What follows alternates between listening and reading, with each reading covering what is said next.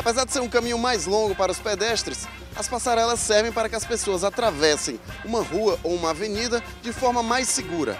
Essa daqui, que fica em cima da Avenida Antônio Salles, antes do entroncamento né, dos dois viadutos que cortam aqui a Avenida Engenheiro Santana Júnior, foi inaugurada na semana passada e custou mais de 2 milhões de reais.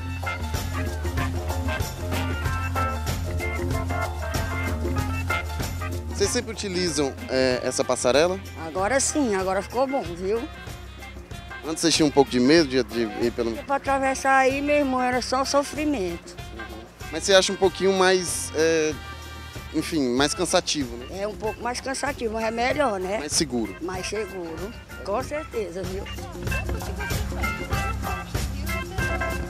Já essa outra aqui, que fica em cima da Avenida Washington Soares, que é bem próxima até daquela outra que a gente já passou, custa um pouco menos. São cerca de quase 860 mil reais por ano.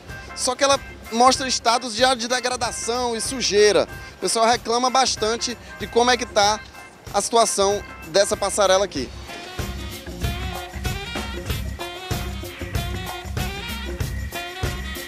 O que, é que você acha do estado que ela se encontra? Você tá vendo aí, né? O, é, tem que ser mais cuidado, né? Tem que, ter, tem que pintar, ajeitar ela aí um pouco, né?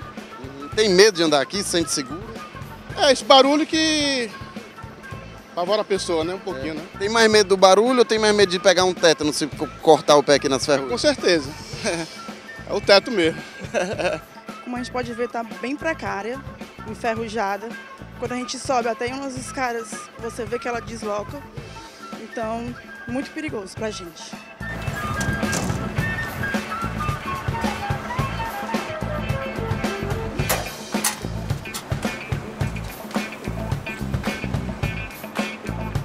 O estado de conservação dessa passarela aí? Péssimo. Tá ruim por quê? Falta de estrutura também, merecia melhor pra gente, alunos também, muito movimento aqui. E merecia melhor pra nós, com certeza. Mas ainda é mais seguro do que atravessar pela pista. Com certeza, tem gente que passa por baixo, né? Ancaí péssimo, né? Sem condições nenhumas, ela se, se balançando aí, do vento aí. Olha, ó. Aqui, ó. Não bata muito não, porque senão. É, pois é, aí não dá, dá não, viu, cara? Uma curiosidade, o nome é passarela, só que não é feita para desfilar. Só que elas também são provisórias, mas vieram para ficar, já que estão instaladas há mais de um ano.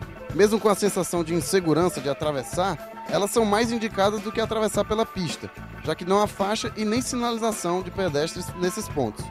E o asfalto acaba se tornando uma pista de atletismo.